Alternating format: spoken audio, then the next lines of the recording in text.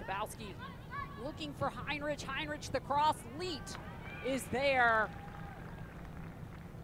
with the save for the Hoyas.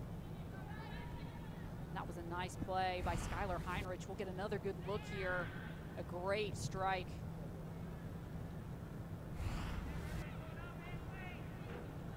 Creighton looking to set up a chance and a nice shot and a goal for the Blue Jays. That's her second of the season.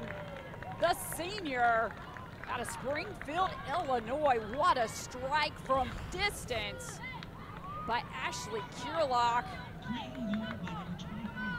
The senior. And now Heinrich pushing forward for the Blue Jays. Megan Nally is going to get called for the foul.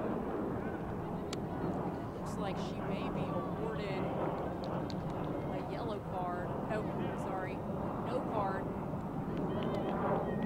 As I saw the official take the cards out of his pocket, but instead just putting down the line for Ainsley Atkinson.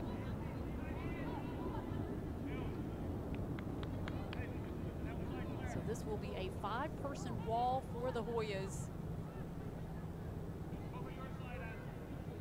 Ainsley Atkinson, as we talked about, she's one of the most creative players out on the pitch for Creighton.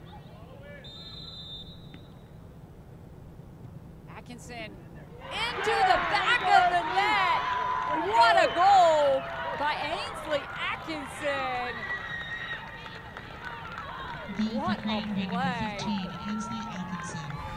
So we will get another look at this, two more. In fact, what a shot.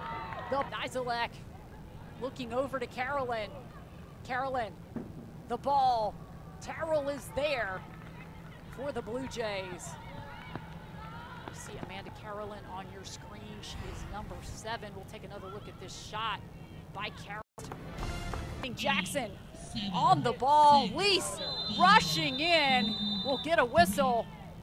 The goalkeeper is down. The clock will stop. There's four seconds. We'll get a yellow card.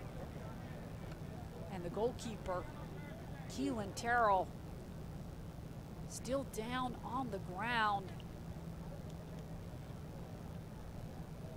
And she will get back to her feet. We'll get another look here. That's Jackson on the corner. Just a collision with Lease who about did a somersault over Georgetown with the comeback, but Creighton will earn a point in terms of the Big East standings, something that is extraordinarily tough to do here at Shaw Field. We will take a quick break and we'll be right back with Georgetown head coach Dave Nolan.